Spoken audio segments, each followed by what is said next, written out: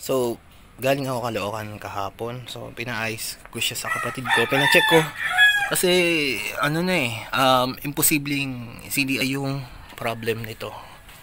Bakit? Kasi, consistent naman yung kuryente niya. Hindi naman sa mahina o malakas. Pero, consistent naman to. So, aftermarket na kasi yan. Yan, kikita nyo, Apido. So, kala ko CDI ang papalitan. So, nag-check na rin ako ng uh, carb, di ba? Nagpalit ako ng carb. So, tinanggal ko yung possibility na siya yung sira. So, pero nung chinek namin lahat, kako baka yung panggilid, uh, ayaw umano, umangat, bumaba ng belt. Pero hindi eh. Uh, so, ang ginawa, uh, chinek yung laman loob yung sa pinaka-vacuum. So, doon namin nakita na upod na pala yung pinaka pinya sa taas. Ah, ito yun. Ito yung mismong pin na nakakabit. So, ang ginawa niya, dun sa isa, nilagyan niya ng uh, washer dito. Imbis na sa taas yung washer, nilagyan niya dito sa baba para umangat ng konti. Ang ano, ang problema kasi nito is um, ano na to? Uh, ported yung mismong ano, pasukan niya o yung sa may ano, intake outtake ng ng head plus yung dito ported na siya. So parang kinakapos sa bigay. So ang naisipan namin is kung magmamalaki kami ng carb mga at least 24 mas magiging okay siya. Mas masusupply niya na maayos. Pero ang naisip ko muna is palitan ng mas malaking jet. Kasi para masustentuhan lang niya na maayos yung ano, yung head. Kasi sa block naman is stuck naman yung block niya eh. So, ang gagawin ko ngayon, um, eto, eto yung papalit ko. Tignan niyo yung ulo.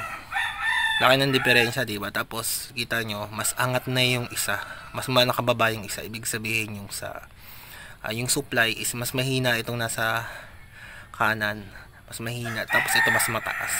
So papalit ko to. Tignan natin kung ano yung magiging response. Pero ngayon start muna natin siya. Para ma-check kung okay pa siya choke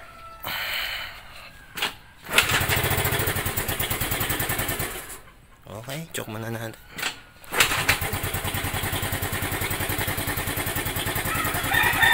So, papabayaan ko muna ng ganito to. So, ito yung nakakabit. Uh, kinalas ko siya. Kita niyo yung ulo. Uh, baka nipis na. Ibig sabihin, mas mas nakabaon pa siya. So, yung pagbomba mo, yung tapos pagangat niya, hindi nasusustain yung uh, yung yung synchronization process nila. Yung hindi hindi tugma, yun yung kung in layman's term, hindi tugma yung ang pasok ng hangin, gas dahil nga dito sa taas. Kaya nilagyan yung washer, inilagay na lang dito sa ilalim para mag uh, support siya sa ano sa mismong needle. Pero kung tignan niyo yung ano, isang needle, ayan, ito yung papalit natin. Yung laki ng diferensya sa ulo. 'Di ba? Alos wala na. So, ang gagawin natin, uh, papalitan natin to tapos check natin yung takbo kung okay na. Ay, sana okay na. Umatang na siya. Naka-start ko lang. Ito lang naman ibaba binalitan natin. Check natin mamaya kung okay. Pag uminit. So, dito nagkatalo. Sa pinakadulo, ito kasi yung nakakabit sa akin na umokay siya. Uh, mas mataba siya kaysa dito sa replacement. So, yun yung problema. Ayan, makikita nyo. Manipis yung dulo. Ibig sabihin, hindi siya nagsha-shut off ng maayos dito. So, kaya siya nag, parang nagcho-choke. Tapos pagdating dito sa isa naman, okay naman siya. So, kung kailangan kong bumili ng original na needle kasi yung isa, nasa na ito, yung isa na nabili ko kasama nun, manipis din eh oh. Ayan oh. Manipis ng dulo oh. So doon pala nagkatalo. Ayun pala yung problema niya. Ang galing.